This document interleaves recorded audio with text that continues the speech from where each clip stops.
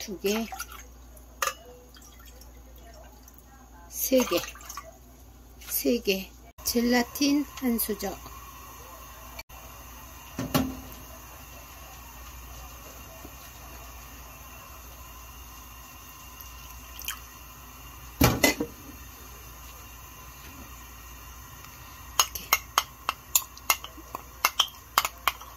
저어줍니다.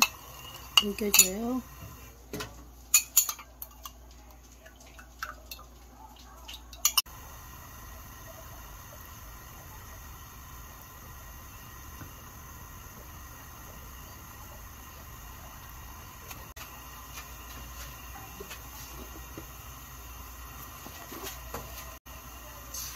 꿀도 있는데 저는 설탕 한 수저 넣어줄 거예요.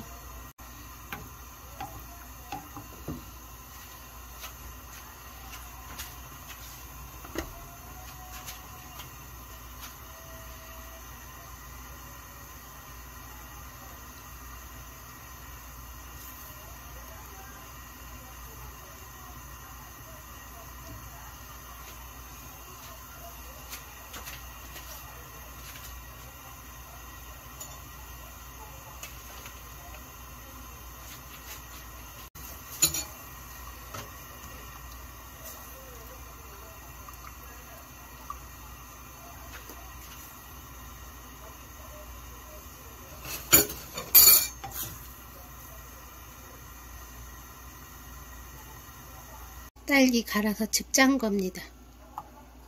넣어줘요. 냉장고에 굳혀줄 거예요. 딸기 푸딩 만들어 봤습니다.